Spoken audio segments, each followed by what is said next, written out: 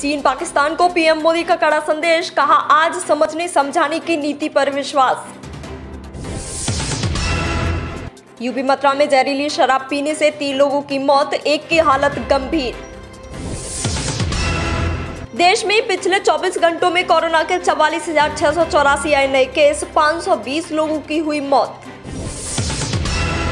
दिवाली के बाद कोविड 19 से संबंधित कई ऐतिहासिक कदम उठा सकती है दिल्ली सरकार। पीएम मोदी का बयान, कहा भारत को आजमाने की कोशिश की तो जवाब भी उतना ही प्रचंड मिलेगा। कोविड 19 के बढ़ते मामलों के बीच इटली में फिर लॉकडाउन, कई शहर रेड जोन में घोषित। दिल्ली महिला कांग्रेस की प्रमुख अमृता धवन की अगुवाई में पार्टी की नेता, भाजपा सांसद मनोज तिवारी और गौतम गंभीर से मिली और उन्हें दिवाली के तोहफे के रूप में आलू और प्याज किए भेंट।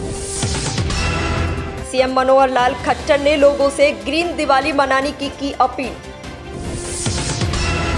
इस बार भी खास तरीके से जैसलमेर बॉर्डर पर जवानों के साथ पीएम मोदी मना रहे दिवाली। डोनाल्ड ट्रंप बोले, वक्त बताएगा कि मैं राष्ट्रपति रहूँगा या नहीं।